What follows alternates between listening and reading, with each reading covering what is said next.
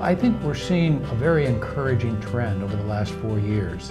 The costs have really leveled off. Medicare has been uh, the lowest increase we've seen in all of history, actually. We've never seen a lower increase than we've seen in the last year. So we're seeing fairly consequential changes with regard to price and cost, but we shouldn't rest on our laurels. We shouldn't sit on our hands. We still have a lot of work to do. The biggest culprit we have with regard to cost is our fee-for-service system, which rewards volume, which rewards uh, excessive use upwards of a third of all the care that we get in this country uh, is arguably unnecessary.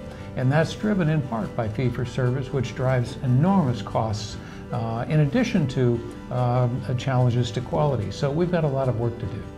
Well, I think you're right that people don't realize that we are at historically low levels of increase in healthcare costs for everyone, business, workers, as well as the elderly in the federal budget. I know from your Senate experience, there was a lot of concern that Medicare was adding to the federal deficit and uh, that it really needed radical change. But now we're seeing maybe a trillion dollars over 10 years of lower Medicare spending, in part as a result of the Affordable Care Act.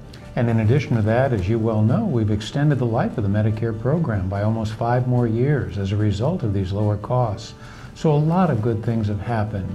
I'm still troubled by the politicization of health and the challenges we face and coming to terms in our country with the need for addressing meaningful change in cost, access, and quality. Uh, but I am very pleased at uh, some of the progress we've made these last four years.